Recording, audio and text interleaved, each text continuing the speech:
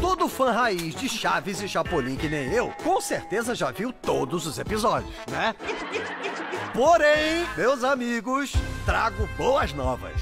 E agora, quem poderá me defender? O Multishow vai exibir um monte de episódio inédito e ainda com dublagem original. Ah, acho que vou desmaiar. Ai, eu já tô mais que desmaiado. Chaves e Chapolin estreia segunda a partir das 11 no Multishow.